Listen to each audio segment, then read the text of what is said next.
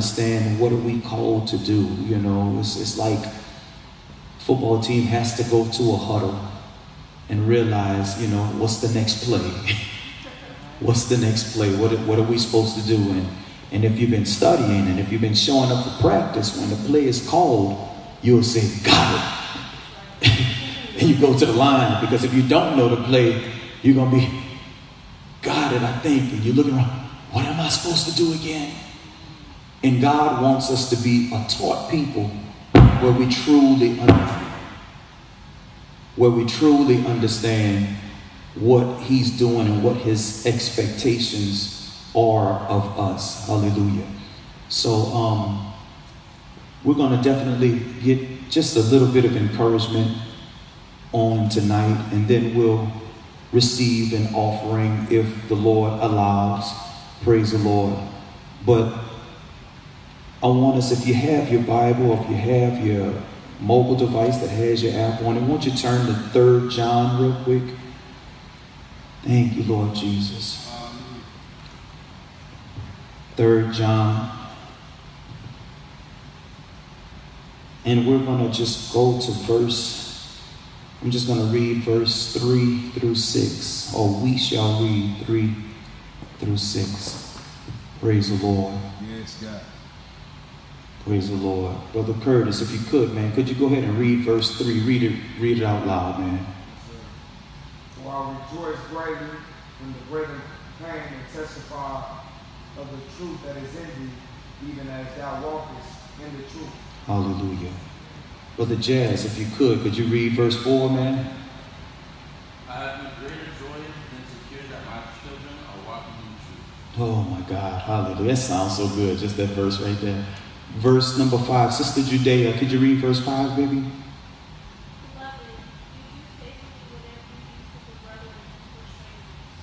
Praise the Lord. And minister, could you read verse number 6? Uh, if we say we have fellowship with him while we walk in darkness, we lie and do not pray. No, 3 John. 3 John 1 and 6. Hallelujah.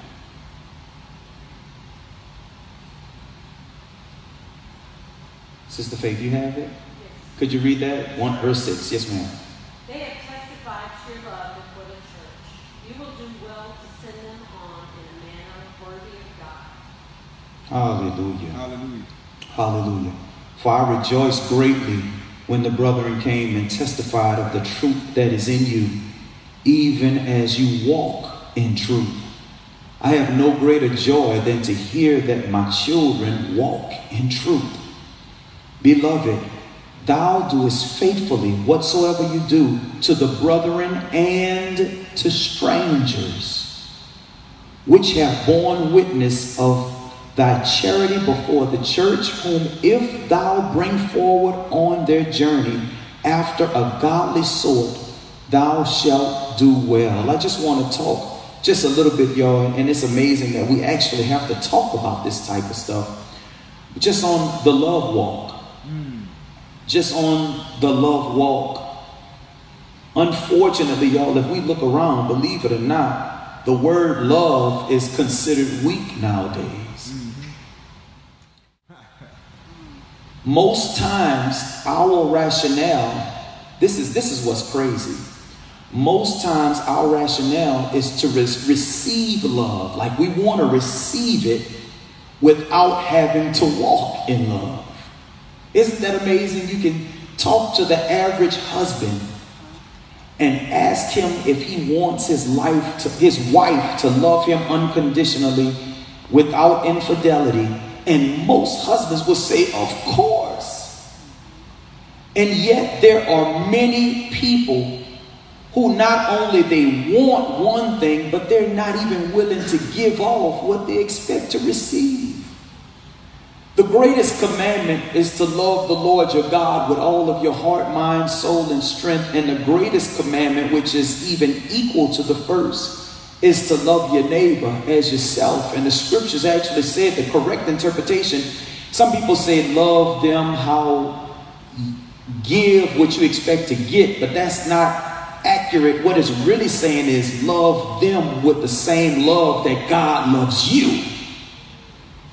That's a different ball game. So, so, so this is why he said, I graciously, I, I greatly rejoiced when the brethren came and testified. Think about that. You got people coming to the Apostle John saying, Man, they got it. Like they actually got it. They actually walking in love. They actually, they actually fulfilling an assignment. Amen. The brothers that's getting married, man, they're not even looking at no other women, man. The, the guys who on their job, man, you can tell that they're working with a, a different vigor because they they actually understand that it's not what they're doing to man, but it's what they're doing as unto the Lord. They got it. Can you imagine what would happen if the people who really love God, if we begin to hear testimonies of those who actually walk in the faith and we can hear that they're actually doing exactly what the scripture, John says, I'm rich. Oh, he said, I'm getting excited because the very thing that we preaching is what they're doing. Because y'all know a lot of people are talking a lot of stuff, but not actually living it. Because unfortunately, it's not even popular. It's popular to have more head knowledge than to actually have, you know, fruit that we're producing. It's amazing. I can remember when I was young, I thought about this when I was thinking about the love walk. I remember there was this cartoon we used to look at when we were young, and it was called Fat Albert. Fat Albert, y'all remember Fat Albert? I still think of the little music. And and, and what was what was ironic about all of them, they all had their own little walk. and, and it really was a good cartoon because it was always about teaching lessons. And there was a guy that had a hat pulled all the way down over his face with just the eyes cut out. And, and, and I think it was great because it showed diversity, it showed the, the potential of having weakness, the potential of being afraid and, and, and not being accepted, and yet all of them had their, their little place. And if we had to talk, I mean, that's the thing that came to my mind. The way each one of them walked. John says, I got testimony of what your walk looks like. See, with Fat Albert, we was thinking about the little animated walk, how they, you know, I mean, they just had a bunch of silly walks. But John said, I got word of the fruit of your walk, how you were not only just with the church, but even among strangers. Glory to God. So, because everyone had a particular walk, I want to just ask you. I mean, because every now and then, you know, we may be in a house dancing and stuff and acting crazy with my family. And sometimes my kids will tell me I'm known for rubbing my hands on my thighs and, and, and they can mock certain things that I do. But if someone had to mock you, what would they mock? If someone had to say it was something about you that, you know, when they think about jazz, what comes to mind? You know, when they think about Kate, what comes to mind? When they think about Jackie, you know, what comes to mind? You know, we have to understand that regardless if we think we're being recorded or not, there's certain attributes that we're carrying that people are getting wind of. And if someone mocked your walk, how would you demonstrate it? The scripture says in verse number five, Beloved, you do faithfully whatsoever you do to the brethren and to strangers. This is powerful to me because there's so many people that think that they have a right to only love those who look like it's obvious they're walking in the faith, and that's not true. Jesus said, I came to seek and to save those who are lost. So that means that each one of us could possibly and have been considered like a car that needed a jump. It still works, still runs good. But every now and then, wait a minute, this thing is not turning over. Who could you connect to that if they really connected with you, they start functioning properly again? They got some people that's getting caught up in lust. You know why? The battery's dead. They got some people that's getting caught up with pride and selfishness and envy. And, and it's not that it's a junk car. You know, a lot of times we look at it and say, it's a lemon, get rid of it. It's a bad apple. No, sometimes it just needs a jump. Sometimes, I, I, I can tell you this honestly, that I've been in connection with people where we had conversations and the conversation was going one way, but once you show them that your conversation is going to be of this sort, have y'all ever seen people change their conversation after they heard what was coming out of your mouth? Sometimes it's because of a jump. Sometimes they realize, oh, that's what I was supposed to say. That's what I was supposed to do. That's, that's what I actually meant to say.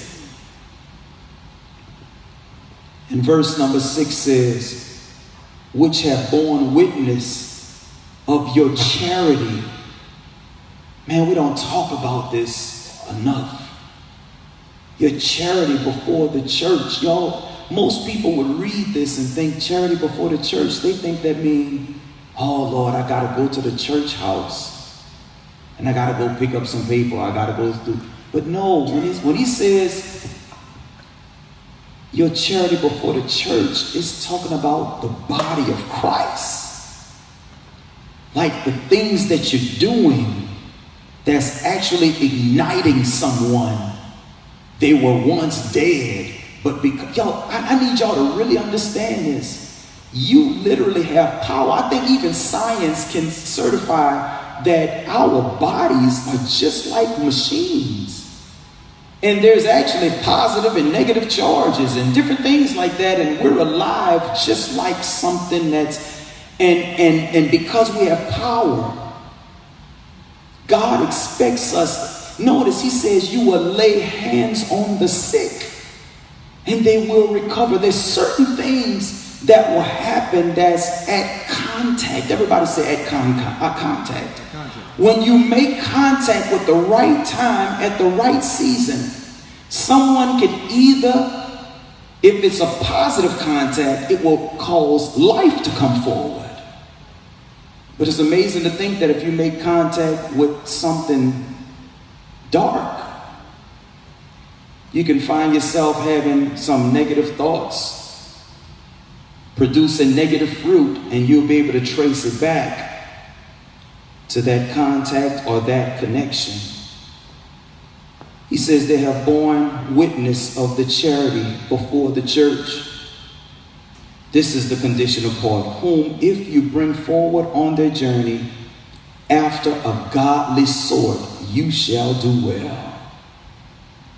When he says, if you bring someone after a godly sort, just because you're sharing with someone doesn't automatically mean that you're producing fruit.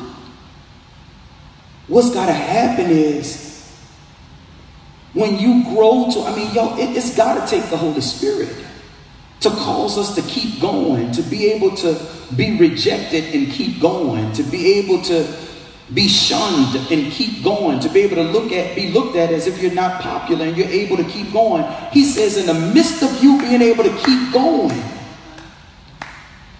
it's almost as if talking to a group of people and you're, you're not knowing if you bore any fruit.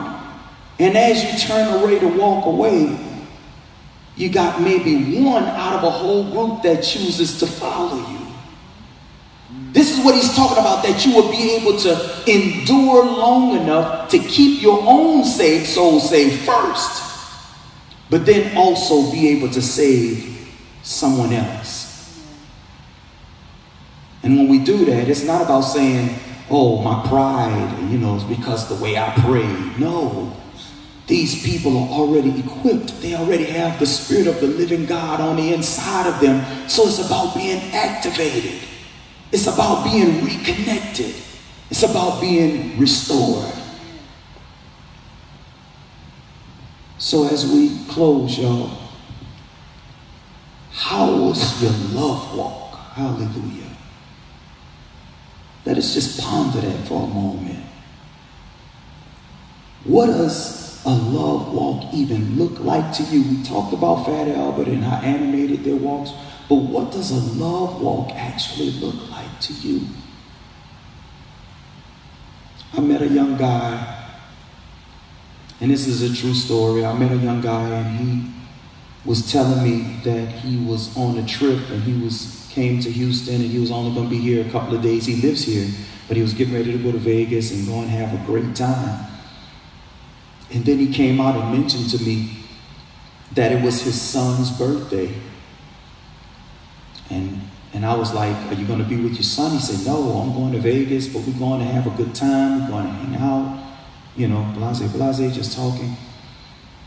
And I said, um, I said, why are you not going to be with your son, man? And he said, he said, because me and the BM don't get along too well. And I said, but what does that have to do with your son? And he said, because man, she's on something else. She thinks that if I come around to do something for my son, he says, she has a daughter that's not mine. And he said, It's crazy because she expects me, whatever I do for my son, to do for her daughter, but that's not my daughter, you know, and and it's like she's expecting too much from me, and all I want to do is give to my son.